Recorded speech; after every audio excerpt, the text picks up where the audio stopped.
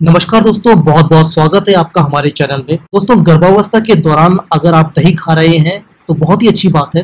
दही के अंदर बहुत अच्छे अच्छे पोषक तत्व होते हैं, जैसे कि विटामिन है, कैल्शियम है, मिनरल्स हैं, प्रोटीन्स हैं, और जो कि आपके लिए तो लाभदायक होते ही हैं। गर्भ में शिशु के लिए भी बहुत ज़्यादा ज़रूरी होते हैं। शिशु का विकास सही तरीके से चले, इसके लिए इन सब पोषक तत्वों की आवश्यकता पड़ती है। दोस्तों, ज़्यादातर लोग दही को दो तरीके से खाते हैं। एक तरीका होता है दही में नमक डाल के खाने का, और एक तरीका होता है दही में चीनी डाल के खाने का। तो दोस्तों, इस वीडियो में हम बात करेंगे कि अगर आपको गर्भावस्था के दौरान दही में जितने भी पोषक तत्व हैं, उनका सही प्रकार से लाभ चाहिए तो आपको दही का सेवन किस तरीके से करना चाहिए? दोस्तों, सबसे पहले तो हम ये जान लेते हैं कि हम आखिरकार दही खाते क्यों है? दही में असंख्य ऐसे बैक्टीरिया होते हैं जिसे हम बोलते हैं गुड बैक्टीरिया जो कि जब आपके शरीर में जाते हैं तो एंजाइम प्रोसेस सुचारू रूप से चलता है। यानी कि आपके लिए दही खाना तभी फ़ायदेमंद है जब आप उन बैक्टीरिया के साथ में दही का सेवन करें। अब दोस्तों, जब आप दही खाते हैं या रायते के रूप में भी खाते हैं तो उसमें ज़्यादातर नमक का प्रयोग हम लोग करते हैं। और जैसे ही दोस्तों हम नमक को दही में डालते हैं तो जो ये असंख्य बैक्टीरिया जो जीवित होते हैं, ये एकदम से मृत हो जाते हैं। एक मिनट के अंदर अंदर ये सारे के सारे बैक्टीरिया मृत हो जाते हैं।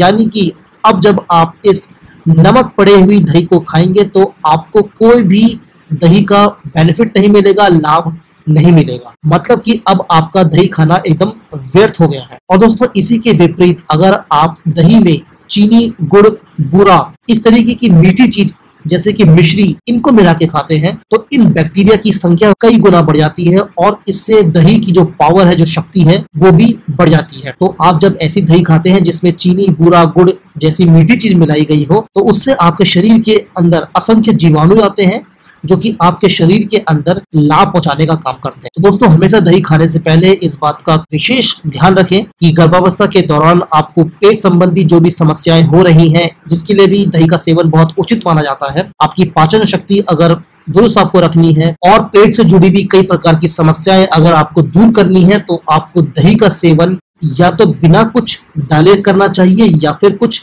मीठे डाल के खाना चाहिए, जिससे कि आपको दही के गुण सही तरीके से मिल सके। शिशु के लिए भी दही तभी फ़ायदेमंद होगी जब ये आपके लिए फ़ायदेमंद हो। तो दोस्तों इस बात का खास ख्याल रखें। अगली बार आप जब भी, भी दही खाएँ तो उसमें नमक का प्रयोग बिल्कुल ना करें। इस वीडियो को अंत करने से पहले दोस्तों एक बात और बता देता हूँ आपको कि भगवान श्री कृष्ण भी दही में मिश्री मिला के खाते थे। तो पुराने समय से ही लोगों को पता है कि आपको दही का सेवन सही तरीके से कैसे करना है। आशा करता हूँ कि आपको ये वीडियो पसंद आई होगी। अगर आपको ये वीडियो पसंद आई है तो लाइक बटन अवश्य प्रेस करें। चैनल में पहली बार आए हैं तो चैनल को सब्सक्राइब करना बिल्कुल भी ना भूलें और साथ ही में बेल आइकन को भी दबाएँ ताकि आपको आने वाली वीडियो का संदेश एकदम सही समय पर मिल सके। चलिए दोस्तों, मिलते हैं अगली वीडियो में। नमस्कार।